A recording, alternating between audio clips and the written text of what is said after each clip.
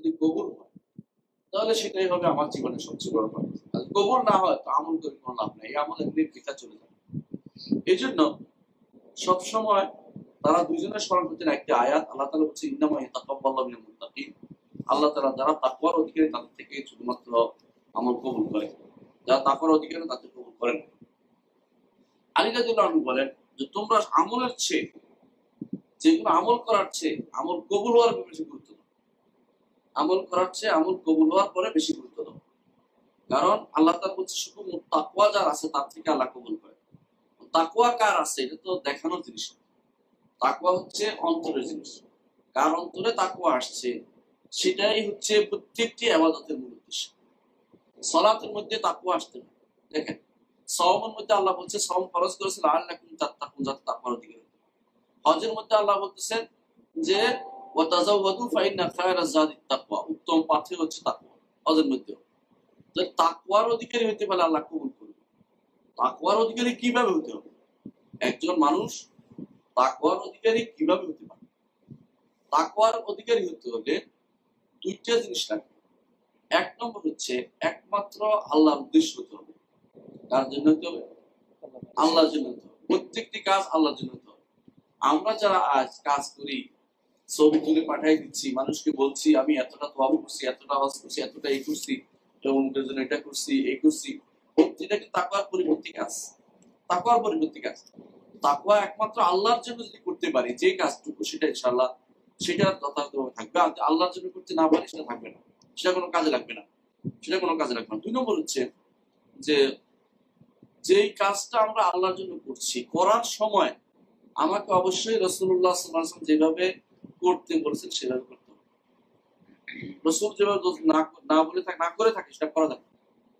যেই কোনো কাজ, আগে জিজ্ঞাসা করবেন রসুল্লাহ সাল্লাম করেছেন কিনা যেভাবে।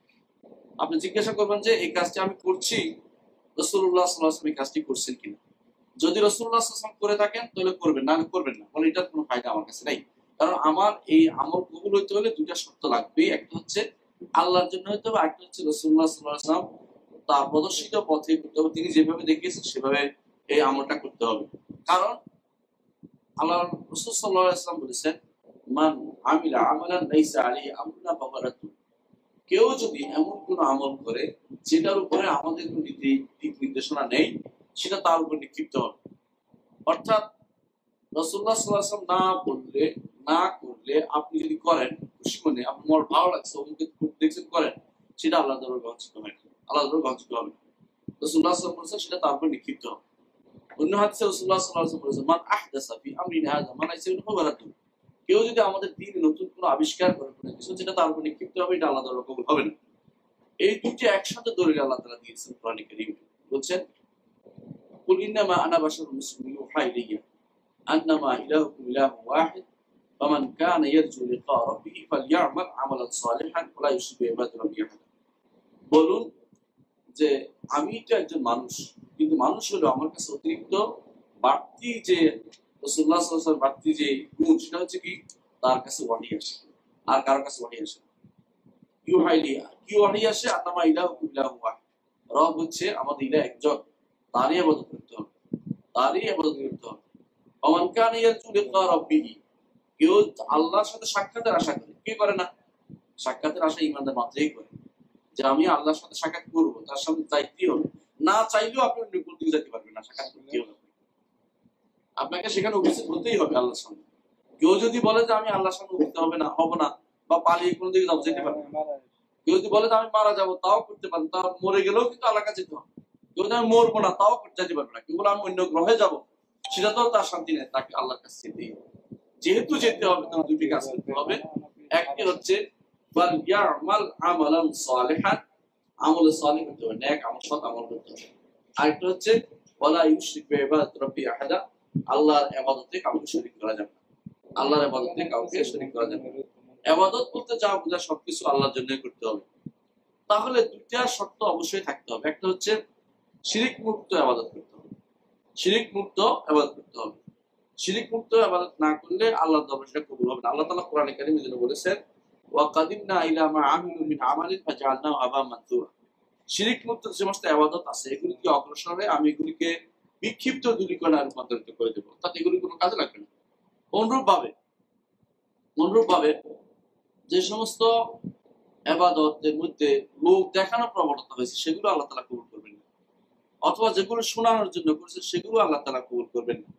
অনুরূপ ভাবে যেগুলো আপনার অন্তর্গত অহংকার বোধ জাগছে। আমি এত এতবার এতবার হজ করেছি, এত কিছু করেছি, এটা করছি, ওইটা করছি, সেগুলো আল্লাহ দরবারে কবুল হবে তো আল্লাহর দরবারে কবুল না হওয়া, এই যে কারণ, এই কারণগুলো, এগুলো কিন্তু আপনার আমার মধ্যে আছে। মনের ভিতরে আছে লুকিয়ে লুকায়িত আছে। আমরা এমন এমন কাজ করি কখনো কখনো, যেটা শয়তানের কাজ শয়তানের কাজ শয়তান কি বলছিল? শয়তান বলছিল যে আনা খাই রমিন আমি আদমের চেয়ে ভালো। আমি আদম এই যে নিজের মধ্যে যে অহংবোধটা এটা কিন্তু আবাদত কবুল না হওয়ার একটা কাজ আল্লাহ দরবারে তাপওয়ার বিরোধী একটা কাজ। এটাই কিন্তু একটা শিরিক। আল্লাহ অহংকার কার কাজ? আল্লাহ। হাদিসে কুদসিতে আল্লাহ তাআলা বলেন, আল কিবরিয়াউ রিদাই ওয়াল ফখরু ইজারি নাযাআনি ফি শাইইন মিনহু আদাবতু। অহংকার হচ্ছে আমার ভূষণ আর গর্ব করা হচ্ছে আমার চাদর। যে কেউ আমার দুটো নিয়ে টানাটানি করবে, তাকে আমি শাস্তি দিব। আল্লাহ তালা দুটোই আল্লাহ তালা এটাকে দুনিয়ার কেউ দাবি করতে পারে অথচ আমরা এটা চলে আসে, যখন আবাদত করি, কোনো একটা কিছু করে বসি, তখন বলতে খুব ভালো লাগে। আবার অনেক সময় দেখা আমাদের আবাদত নষ্ট হওয়ার একটা কারণ হচ্ছে মিন্না করি। মিন্না মানে দয়া দেখাই। দুনিয়ার বুকে আপনি কাউকে কিছু দিয়েছেন, আত্মীয় স্বজনকে দিয়েছেন এরপরে খারাপ ব্যবহার করছে, তারা এরপর বলা শুরু করে দেন, তার জন্য আমি কি না করেছি, এই না করেছি, এর মাধ্যমে কিন্তু আপনার আমলগুলি নষ্ট হয়ে যাচ্ছে। এই জন্য আল্লাহ তালা কোরআন কারীম বলেছেন, ইয়া আইয়ুহাল্লাযীনা আমানু লা তুবতিলু সাদাকাতকুম বিল মান্নি ওয়াল হে ঈমানদারগণ, তোমাদের সদকা সমূহ দয়া দেখিয়ে এবং কষ্ট দিয়ে, কথা দিয়ে কষ্ট দিয়ে নষ্ট করে দিও না। এটা কিন্তু আমাদের সমাজে নারী পুরুষ সবাই মধ্যে আছে। কথা বলে কষ্ট দেয়া। নিজের সৎকার করছে আল্লাহর জন্য, এখন নিজের মনের জন্য চাচ্ছেন সেটা। যখন মানুষ দান করে, তখন কার জন্য করে? আল্লাহর জন্য। কিন্তু পরবর্তীতে চায় এর যখন বিনিময়ে চায় কারোর কাছে অর্থ কি? আল্লাহর জন্য করি নাই। কার জন্য করছি? নিজের জন্য করছি। বুঝা গেল যে আসলে এইখানেই আমাদের সমস্যার কারণে আমাদের আমলগুলো কবুল হচ্ছে না। এই সমস্যাগুলো ব্যাপক আকার ধারণ করেছে আমাদের মধ্যে। এই জন্য যখনই শিরকি কেউ থাকবে, রিয়াতে থাকবে, দেখানোর জন্য থাকবে, লোক দেখানোর কাজে করবে অথবা মানুষকে শোনানোর জন্য করবে, অথবা কেউ কারও ফোঁটা দেওয়ার জন্য করবে, তখনই আমার আমল কিন্তু কবুল হয় না কিন্তু নষ্ট হয়ে গেছে, যেমন রাখতে হবে আমাদেরকে। এই জিনিসগুলো আমাদের সমাজে ব্যাপকভাবে প্রচলিত রয়েছে। দ্বিতীয় জিনিস হচ্ছে যেটা থেকে দূর থাকতে বেদাত থেকে দূর থাকতে হবে। রসুল্লাহ আসলাম দেখায়নি এটা আপনি করতে পারবেন না। যেমন রসুল্লাহ সাল্লাহ ইসলাম সাতবার, সাত চক্কর দিতে বলছে, তাই না? আপনি বললেন যে অসুবিধা কি, আমি নয় চক্কর দিব। হবে? হবে না, আপনার গুণা হবে। সাত চক্করের পরে আর আপনি কিছু করতে পারবেন না। নতুন করে আরও, আরেকটা তো আপনি নিতে পারবেন আপনি। আরও সাত চক্কর নিতে পারবেন, কিন্তু নয় চক্কর নয় চক্কর দিয়ে তো আপনি হবে না। নয় চক্করের কোনো তো আপনি এরকম প্রত্যেকটা কাজে রসুল যেই সংখ্যায় থেকেছে, ওই সংখ্যা আপনাকে থামতে হবে। দেখেন সরাতের প্রতি ফরজ সরাতের পরে তেত্রিশ তেত্রিশ, চৌত্রিশ বার করতে বলছে না? আপনি বললেন যে না, পঁয়ত্রিশ পঁয়ত্রিশ পঁয়ত্রিশ বার করব এটা একটা সুন্দর একটা সংখ্যা। হবে হবে না, আপনি এটা পাবেন না। কারণ রসুল আসলাম যেই সবের কথা বলছে, এটা পঁয়ত্রিশ বারে আছে। এই তেত্রিশ বারে আছে, এটা পঁয়ত্রিশ বারে নাই। আপনি এটা মানলেই হবে না। মাগরিবের নামাজ তিন রাখা আপনি বললেন যে না তিন রাখা তাহলে কেমন হয়ে যায়? চার রাখা করে বলব আমরা এখন থেকে। হবে? হবে না। বরং যতটুকু বলছে অতটুকু। কম হোক, কম। আপনি বাড়িয়ে দিবেন না কোনো কিছু। কোনো কিছু বাড়িয়ে দিবেন না। আব্দুল্লাহ ওমর রাদিয়াল্লাহু এক লোককে দেখছে যে সূর্য ডুবার সময় নামাজ পড়ছে বলে, কিসের নামাজ পড়ো? এটা তো তোমার অবৈধ নামাজ। এই সময় সূর্য ডুবার সময় নামাজ, সূর্য ডুবার সময় নামাজ পড়তে হয় না। এটা পড়িও না তুমি। বলছে, আল্লাহ কি নামাজ পড়ার কারণে আমার শাস্তি দিবে? উনি কোন দিক দিয়ে প্যাসেজ দেখছেন? আমি তো আল্লাহ নামাজ পড়তেছি। আল্লাহ কি তুমি শাস্তি দিবে বলছে, আল্লাহ শাস্তি দিবে এই জন্য কারণ তুমি তার নবীর কথা বিরোধিতা করেছ। নবী বলছে, এই সময় যেন কেউ সলাৎ আদায় না করে, এই সময় যেন কেউ সলাৎ আদায় না করে, আর তুমি এটার বিরোধিতা করছ, এই জন্য আল্লাহ তোমাকে শাস্তি দিবে তাহলে বোঝা গেল, একদিকে আবাদত করতে হবে আল্লাহ আল্লাহর জন্য, আরেকদিকে আবাদতের মধ্যে বেদাত করা যাবে না। অর্থাৎ যেটা আছে এটা বাড়ানো যাবে না, কমানো যাবে না। প্রত্যেকটা কাজ দেখবেন এইভাবে কিছু করতে হবে আমাদেরকে। যেটা আল্লাহ বলছেন, এটাকে এটা বাড়াই করে- করলে অর্থই হচ্ছে যে আমি আসলে নিজেকে কবুল থেকে দূরে সরিয়ে দেওয়ার জন্য শয়তান আমাকে এই কাজটা দিয়েছে। আমার যেন আমলটা কবুল না হয়, শয়তান আমাকে এই বুদ্ধিটা দিয়েছে যে আমার আমলটা যেন কবুল না হয়। এই জন্য যে কোনো সময় আমাদের কাজ করতে হবে যে এই ভুল ভ্রান্তি থেকে দূরে সরতে হবে। দুইটা, একটা হচ্ছে শিরিক করা যাবে না, আল্লাহর জন্য খাঁটি ভাবে করবে আবাদতটা কাউকে দেখানোর জন্য, শোনানোর জন্য নয়, কারও খুশি করার জন্য আল্লাহ খুশি করার জন্য। দুই নম্বর হচ্ছে করার সময় দেখব যে রসুল এই আবাদতটা কেমনি করেছে। এখন তো অনেক কিছুই আবাদত হয়ে গেছে। রসুল আবাদত করেন নাই, অথচ আমি এখন আবাদ করতে ইচ্ছা করতেছি এবং বহু আবাদত মান বানিয়ে নিয়েছে। মানুষের জীবনে অনেক বহু আবাদত মান বানিয়ে নিয়েছে। অনেক কিছু। আশ্চর্য হবেন যেটা রসুল ইসলাম কখনো করেননি, এমন এমন নতুন নতুন পদ্ধতি মানুষ আবিষ্কার করে এটা আল্লাহ তালা কেমনে কবুল হবে বলেন? কবুল হওয়ার জন্য এই দুটি শর্ত অবশ্যম্ভাবী। আর এখন আমি কিছু কারণ উল্লেখ করব। যে কারণগুলো হইলে আবাদত, আসলে আমাদের আবাদগুলো কবুল হবে। এত কষ্ট করে আসছি হজের জন্য। তোয়াফের জবাব করতেছি। তাই না? তারপরে জিকির আজকার করতেছি, কোরআন তেলাওয়াত করতেছি। এগুলো যদি কবুল না হয় কি এমনিতেও যাবে কোনো কাজে না এগুলো। সেই জন্য আমি বেশ কিছু জিনিসকে উল্লেখ করব, যেগুলো গুরুত্বের সাথে এক নম্বর হচ্ছে যে, প্রথম যে জিনিসটা গুরুত্বের সাথে দিবেন সেটা হচ্ছে যে কোনো ন্যাক কাজ, ছোট এটাকে ছোট করে দেখবেন না, বড় করে দেখবেন যে আল্লাহ রসুল তো বলেছেন, এটা করো। আল্লাহ তালা এটার উদ্দেশ্যে আমাকে মুক্ত করে দিতে পারে এই জিনিসটা দিয়ে এটার কারণে আমাকে মুক্ত করে দিতে পারে আমার যে আমি কীভাবে যদি মন থেকে কোনো কিছু বলি, আল্লাহ তালা সেটা কবুল করে ফেললেই হলো আমার। আশ্চর্য হবেন, একটা হাদিস আছে রসুল্লাহ সাল্লাহ বলেছেন যে, কেয়ামতের মাঠে এক লোককে নিয়ে আসা হবে। তার মাদ্দাল বাসার চোখ যতটুকু যায়, অতটুকু তার গুণা বলছে তোমার কি কোনো ন্যাক আছে? সে বলবে যে, আমার কোনো আমার কোনো ন্যাক নাই। মানে এত গুণা দেখে ন্যাকের কথা তার মনেই হবে না। আল্লাহ তারা বলবেন যে, না, তোমার একটা ন্যাক ছিল আজকে এটা জুলুম করা হবে না। ওইটা তোমার তোমার পাল্লায় দেওয়া হবে। এক পাল্লায় হবে সমস্ত গুণা আরেক পাল্লায় হবে কত আল্লাহ তাআলা তাওহীদের বাণীটা হবে, এটা ভারী হয়ে যাবে, ওইগুলো উপরে উঠে যাবে। আল্লাহ কেন? মন থেকে সেটা সে বলেছিল এবং এটা সে ছোট মনে করেনি, বড় কাজ মনে করে করেছিল। তাওহীদের এই কালিমাটি এই জন্য সেটা ডাল গাছের ডাল পড়ে আছে, এটা মানুষের কষ্ট দেয়। সেইটা সরাই দিতে মানুষের কষ্ট হবে। হাদিসে আছে, রাসূলুল্লাহ সাল্লাল্লাহু এই কারণে আল্লাহ তাকে জান্নাত দিয়ে দিয়েছে। আরেকটি হাদিসে রাসূলুল্লাহ সাল্লাল্লাহু বলেছেন, এক বেশ্যা মহিলা যাচ্ছিল যাওয়ার সময় তার খুব পানির পিপাসা পাইছে। কুয়ায় নেমে পানি পান করছে। দেখলে এক কুকুর উপরে হাঁপাচ্ছে, কুকুর হাঁপাচ্ছে। কি জন্য? গরমের কারণে কুকুর হাঁপাচ্ছে, কেউ পানি পাচ্ছে না। তো মহিলা তার মোজা খুলে, তখনকার চামড়ার মোজা ছিল। চামড়ার মোজা খুলে নিচে নামিয়ে পানি তুলে কুকুরকে দিল। আল্লাহ তালা খুশি হয়ে তাকে জান্নাত ব্যবস্থাপনা করে দিলেন। এটাও কেন? ছোট কোনো কাজকে ছোট করে দেখব না। এই যে আপনি এখানে আসছেন, একজন ভাইকে সালাম দিয়ে কথা বললেন, একজনকে আপনার মুসল্লা জায়গা করে দিলেন, একজনকে আপনার পাশে দাঁড়াতে দিলেন, একজনকে রাস্তা করে দিলেন, পথ করে দিলেন, কেউ গেল তাকে ক্ষমা করে দিলেন, কেউ আপনার এটা আসলো, তাকে ছাড় দিলেন অসুবিধা নাই, নিজে কাজটা করে ফেললেন ঘরের এখানে করা পরিষ্কার করা দরকার, কারও রেখে দিলেন, নিজে করে ফেলেন, এগুলো সবগুলোই কিন্তু আল্লাহ কিন্তু ভুলে যাবেন আল্লাহ কিন্তু কোনোটাই ভুলে যাবেন না। আপনি হয়তো ভুলে যেতে পারেন যে, আমি কি করেছি, না করেছি? কিন্তু আল্লাহ ভুলে যাবেন না। আল্লাহ ছোটখাটো জিনিসগুলো আপনার স্মরণ রাখবে, এগুলির কারণে আপনাকে জান্নাত দিবে। দ্বিতীয় যে কাজটি করা দরকার, সেটা হচ্ছে যদি আমল কবুল হতে বেশি বেশি দোয়া করা দরকার। বেশি বেশি দোয়া করা দরকার। দোয়া যে আমল কবুল করে, এটা প্রমাণ দেখবেন ইব্রাহিম আলাইসালাম ইব্রাহিম আলাইসালাম তিনি দোয়া করতেছেন আল্লাহর কাছে যখন এই কাবাঘর বানিয়েছেন চিন্তা করে দেখুন, দুইজন মানুষ কাবাঘর বানাচ্ছে। একজন হচ্ছে কে? ইসমাইল একজন হচ্ছে কে? ইব্রাহিম। মানুষ নেই।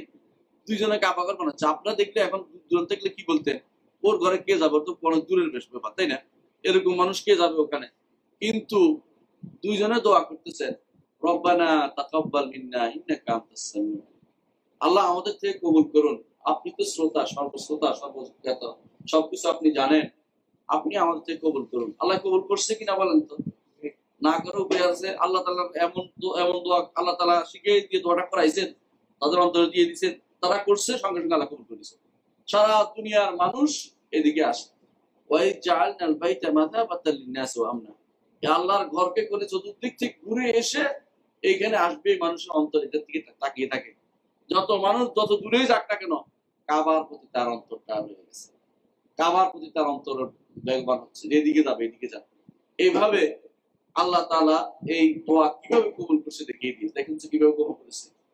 আরেকটা দোয়ার কথা আমি স্মরণ করে দিই, যে চিন্তা করে দেখুন।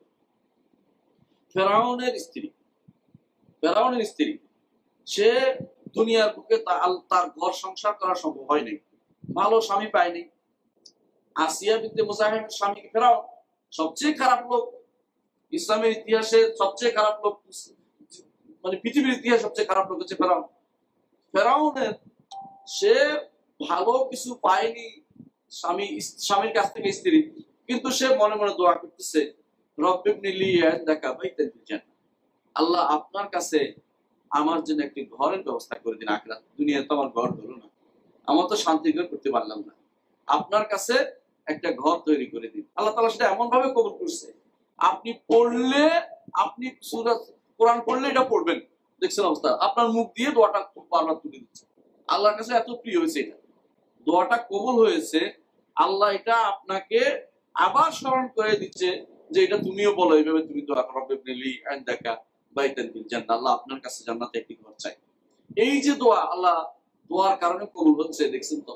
তো দোয়ার কারণে আমাদের আমল সময় এইভাবে কবুল হয়ে যায়। ইব্রাহিম আলাইহিসসালাম তিনি দোয়া করতেছেন যে আল্লাহ পরবর্তীদের মধ্যে আমাকে বেশি বেশি করে স্মরণ করার ব্যবস্থা করে দিন। এখনও স্মরণ করে না ইব্রাহিম আলাইহিসসালামকে কে না স্মরণ করে? কাবা শরীফ আসলেই স্মরণ করতে হয়। সাবা মরা দৌড়ালে স্মরণ করতে হয়।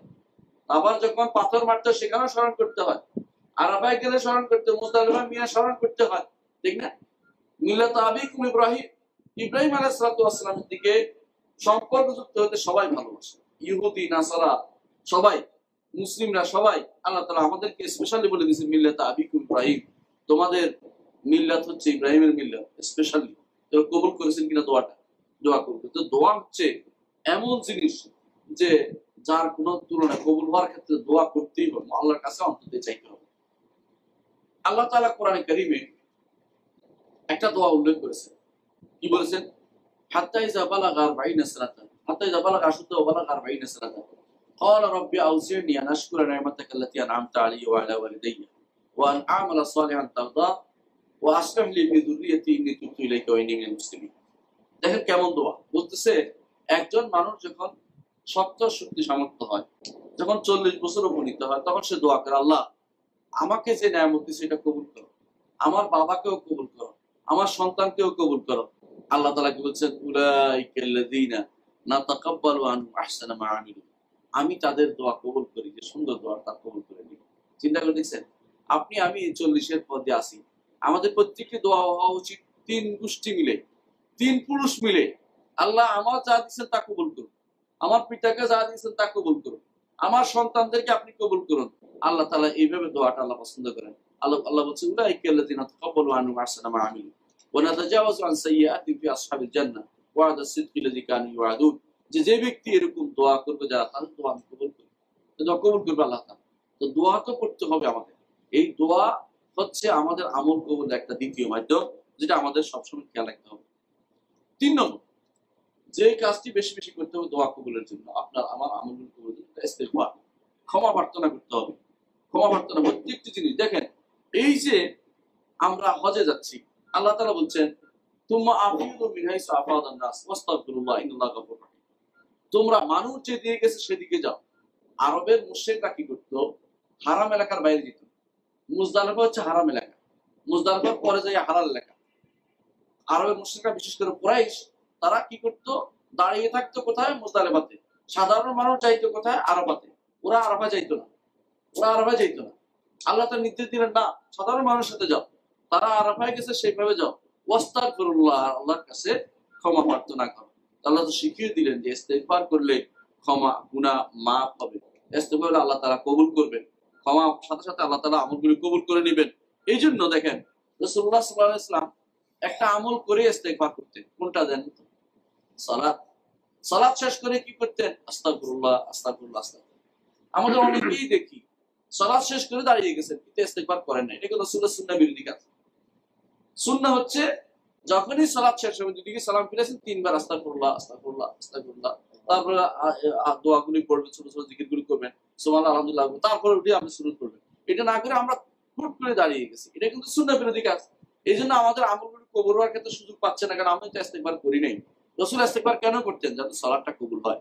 কারণ কেন করবেন? কারণ যেইভাবে আল্লাহর ইবাদত করা দরকার ছিল, এভাবে তো করতে পারিনি। আল্লাহ তুমি ক্ষমা করে দাও। অন্তত আমার আমলটা কবুল করে নাও। তুমি নিজে দয়া করে বসে আমার আমলটা কবুল করে নাও। এটা হচ্ছে একজন ইমানদার কাজ। সব সময় যে সে ইস্তেগফার করতে থাকবে, ভালো আমল করলেও ইস্তেগফার আল্লাহ ক্ষমা করে দাও, আমাকে কবুল করে নাও। চার নম্বর যে কাজটি করা দরকার হচ্ছে একটি ভালো কাজের পিছনে একটি ভালো কাজ করা দরকার।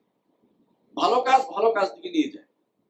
হাদিসে আজ তিনি বলেছেন যে একজন মানুষ যখন ভালো কাজ করে, একটা ভালো কাজ আরেকটা ভালো দিকে টানে আরেকজন মানুষ যখন খারাপ কাজের খারাপ কিন্তু আরেক খারাপের দিকে টানে কেন জানেন? আপনি একদিন যদি বদরের সালাদ জামাত মিস হয়, আপনাদের খুব আফসোস হয় এবং জামাত এরপর চিনতে লেগে থাকে, তাহলে ভালো। আর দুই দিন, দুই, তিন দিন চলে গেলে এরকম, এরপর মনে হবে কিছুই না। এরপর মনে হবে কিছুই না, নাউজুবিল্লাহ। এই জন্য রসুল্লাহ সাল্লাহ আসলাম বলেছেন যে ইমানদার তার একটা গুণাকে মনে করে পাহাড় পাহাড়ের পরি। আর মোনাফেক মনে করে কিছুই না মাসির মতো। তার এই দিনটা যেন আঙ্গুল দিয়ে। তাহলে বোঝা গেল যে একজন চতুর্থ যে কাজটি করলে আমাদের আমল ইনশাল্লাহ করতে হবে সবসময় ভালো কাজে লেগে। একটা কাজের পরে একটা ভালো কাজ, এর সাথে আরেকটা ভালো কাজকে লেগে পর পর করতে থাকা তাহলে ইনশাল্লাহ আমাদের আমলগুলো কবল হবে। পাঁচ নম্বর যে কাজটি দরকার সেটা হচ্ছে সবসময় নিজেকে, নিজের মধ্যে কমতি হয়েছে, আমার মধ্যে কমতি আছে, আমি ঠিক মতো আদায় করতে পারিনি। এই যে অনুভূতিটা, এটা আমার কাজ করতে হবে, সবসময়। অহংকার যেন না আসে, যেটাই আমি করছি, যে আমার যতটুকু করা দরকার ছিল এতটুকু আসলে আমি করতে পারিনি। সবসময় মনে করতে হবে যে আমি তো আসলে আল্লাহ তালা আমাকে এতটুকু দিছে যে এটা তৌফিক। নাহলে আমি করতে পারতাম না। এই জন্য আরবের যারা বেদুইনরা এসে রসুল্লাহ সাল্লাহ আসলামের কাছে আসে বলতো যে, আসলাম না। আমরা ইসলাম গ্রহণ করেছি। উদ্দেশ্য কি?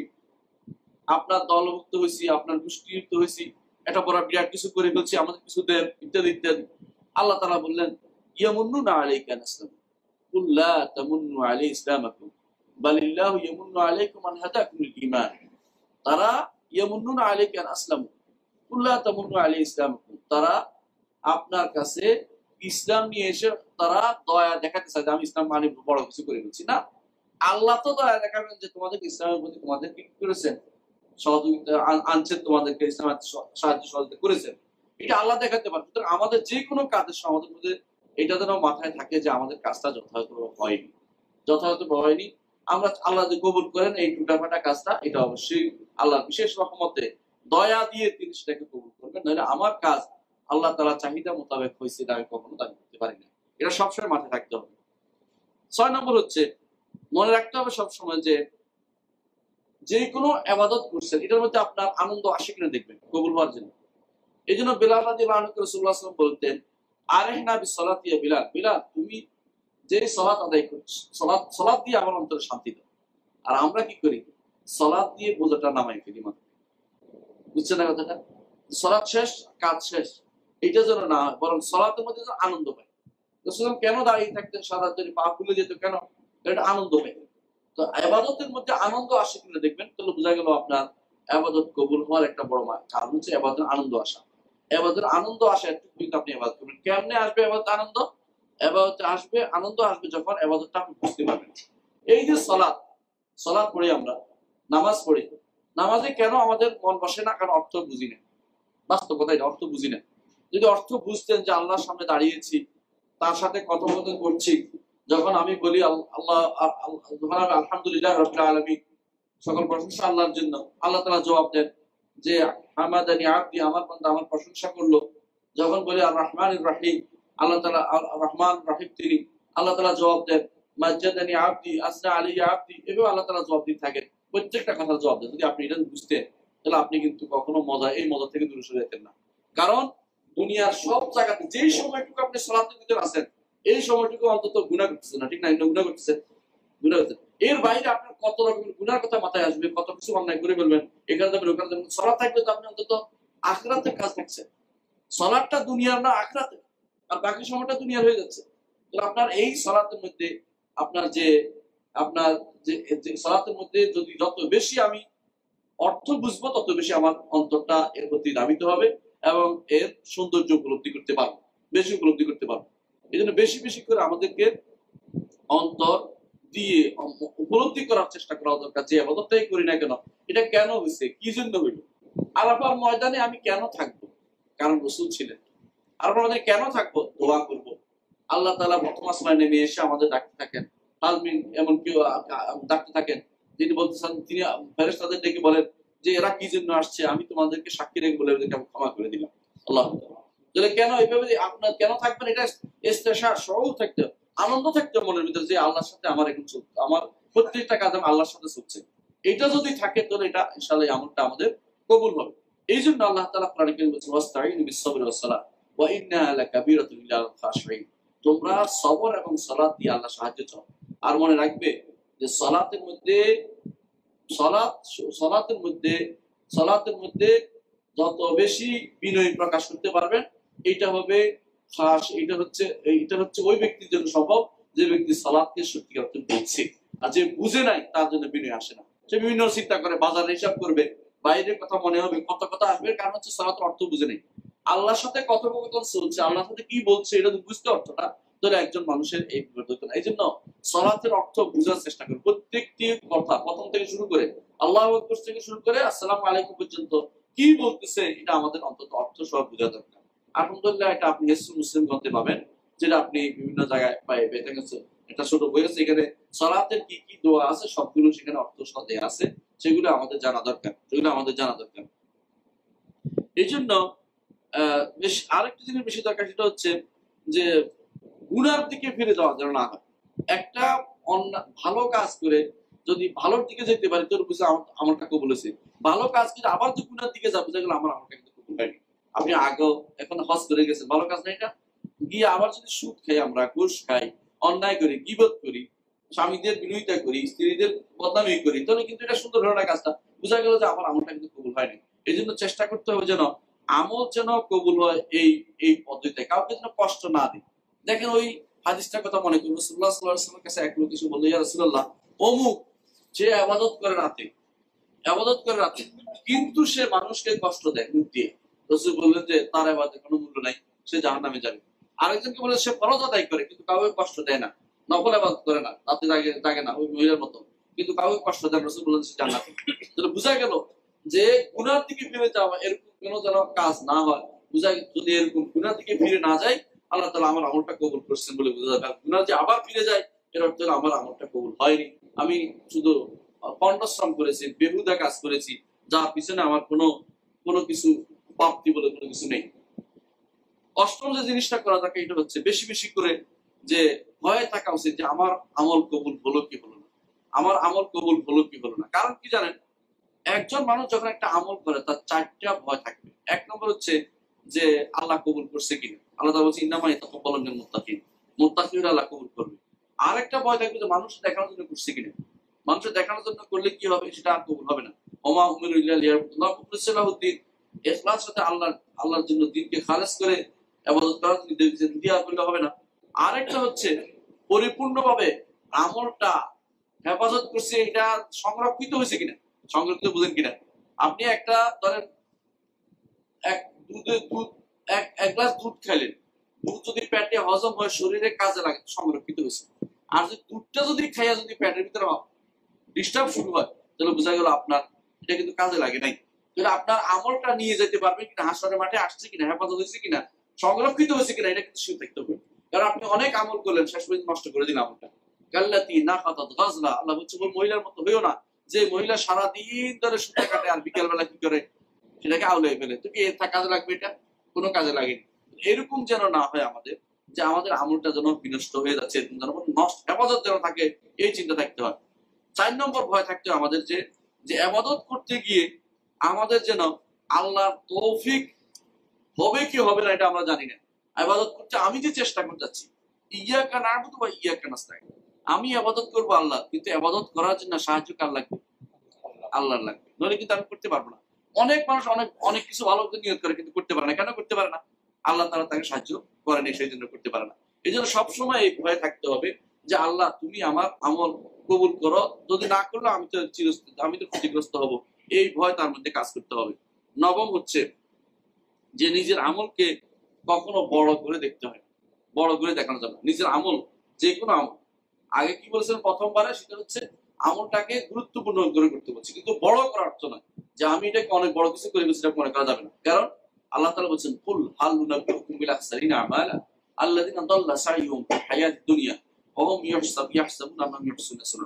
আল্লাহ বলছেন যে নবী, আপনি কি বলুন যে আমি তোমাদেরকে জানাব না ওই ব্যক্তির ওই ব্যক্তির বিষয়টি? যে ব্যক্তি কাজ করছে, কাজ করতে করতে করতে নিজেকে একেবারে শেষ নিঃশেষ করে দিয়েছে। অথচ আল্লাহ দরবার সেটা কোন রকমই গ্রহণযোগ্য হয়নি। নিজে খুব বড় মনে করছে কাজটা করতে গিয়ে। কিন্তু আল্লাহ দরবার এটা অত্যন্ত ছোট। আল্লাহ তালা যদি বলছেন জীবনের সমস্ত আমল তার বিনষ্ট হয়ে গেছে। কারণ সে নিজের আমলটাকে নিজে বড় করে দেখছে। অথচ আল্লাহ দরবার এটা গ্রহণযোগ্য বিষয় ছিল না। এটা যেন না হয় এই বিষয়টি খেয়াল রাখতে হবে। দশ নম্বর হচ্ছে যে আমল করার সাথে সাথে আমলটা টিকে রাখার জন্য একটা বড় বুদ্ধি হচ্ছে ভালো লোকদের সাথে।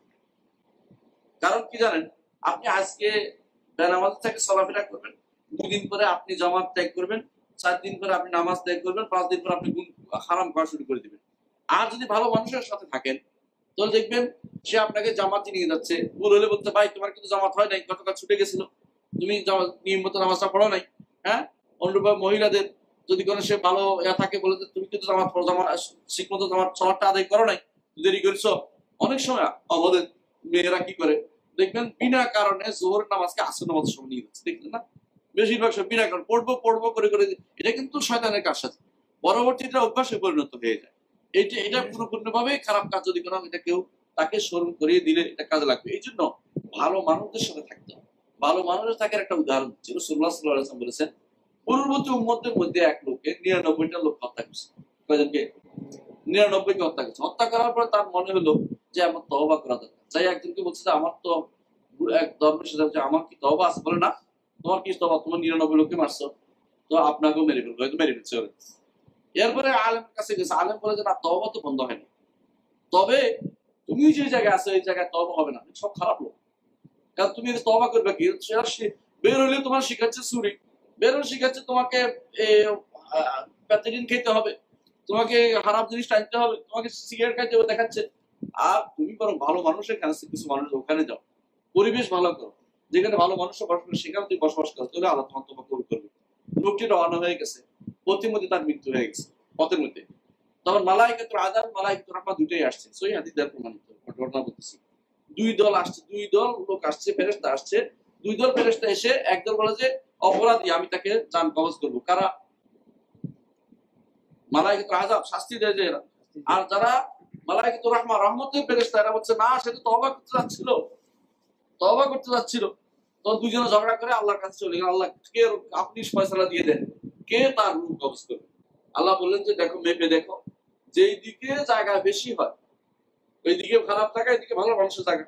যেদিকে জায়গা কম হয় সেদিকে তা ধরবা যেদিকে বেশি ওইটা বাদ দিবা আল্লাহ তারা জমিনকে বলে, তুমি সংকুচিত হয়ে যাও। দয়াবান, তুমি তবা সেই জমিন সংকুচিত হয়ে গেলে এক বিগত পরিমাণ জায়গা, যারা ভালো মানুষ, তাদের দিকে সে এগিয়ে গেছে, বুক দিয়ে কষ্ট করে মৃত্যুর আগে। তো আল্লাহ তারা তাকে বলে মালাইক রহমা তুমি ফেরেশতা রহমতের ফেরেশতা, তুমি তাদের তাদের, তার জান কবজ করো। এটা এই জন্য হয়েছে যে সে নিয়ত খালেজ করেছে। এবং আল্লাহর রহমতের দিকে যাচ্ছিল, ভালো মানুষের সাথী হতে যাচ্ছিল, এই জন্য আল্লাহ তারা কবুল করেছে। এই জন্য আমাদের প্রত্যেকটি আমল, যে আমলের জন্য আমরা বের হয়েছি, এখন অনেকগুলো আমল কিন্তু শুধু হজ না, হজ আছে, আবার দেখুন তোয়াপ আছে, আবার আমাদের কি আছে শাড়ি আছে, আবার পাথর পাথর মারা আছে, কত রকম জবে আছে মাথা মুন্ড আছে সবগুলো কিন্তু আবাদের অংশ। সবগুলো আবাদত যদি কবুল করা হয় তাহলে এমন কোন কাজ করতে হবে এমন কাজ আমাদের করা উচিত, যেটা আল্লাহর দরবারে আমাদের আমলগুলি করি, আমল কবুল করে নেয়। এই দশটি আমি কাজ উল্লেখ করেছি, যেগুলোর মধ্যে আপনার বোঝা যাবে যে এইগুলো যদি থাকে তাহলে আমল কবুল হবে। তার মূলে দুইটা জিনিস। একটা হচ্ছে, কোন রকমেই যেন আল্লাহ ছাড়া কারোর জন্য করা না হয়, আর কোনোভাবেই যেন রসুল্লাহ প্রদর্শিত নিয়মের বাইরে যেন কোনো আবাদত করা না হয়, এটা আমাদের সবসময় খেয়াল রাখতে। এই জিনিসগুলো আমি এই জন্য বলছি, কারণ আমাদের আমল যতটুকু করতে পারি আমল বেশি করাচ্ছে আমাদের চিন্তা করতে হবে সবসময় আমলটা যেন শুদ্ধ করি। বেশি করাচ্ছে। এই জন্য সলবে সালিন সবসময় বলতেন, আল্লাহ তালা এই বাণীকে যে দুনিয়াতে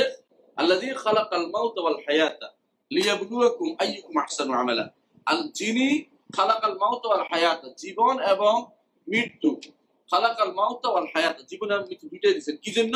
লিয়াবলুয়াকুম যাতে করে পরীক্ষা করেন আহসানু আমালা। তোমাদের মধ্যে কে উত্তম আমল করে? বলে না যে কে বেশি আমল করে। উত্তম আমল বুঝছেন? উত্তম আমল হচ্ছে এটা যেটা আল্লাহ তালার জন্য হবে, আর উত্তম আমল হচ্ছে ওইটা যেটা রসুল্লাহ সাল্লাহামের নিয়ম মোতাবেক হবে। নইলে ওইটা উত্তম আমল হতে পারে না। এই জন্য উত্তম আমল, দেখেন একজন হিন্দু কিন্তু সারাদিন আমল করে, না খেয়ে থাকে থাকে না? খ্রিস্টানও অনেক খ্রিস্টান আছে, বিয়েও করে না, সারা জীবন খেদত করে বেড়াচ্ছে। কিন্তু আল্লাহ দরবার তার এটা কোনো মূল্য নাই, কোনো কবুল হবে না। কেন? এটা আল্লাহর নির্দেশ দেন নাই রসুল নির্দেশ দেন, তিনি যারা বানিয়ে নিয়েছে এই জন্য যে আমল আল্লাহ রসুল নির্দেশ দেয়নি, এই আমল করার কোনো প্রয়োজন নেই। আল্লাহ আমাদেরকে বুঝার তো বিদান করুন। আসসালামু আলাইকুম রহমতুল্লাহ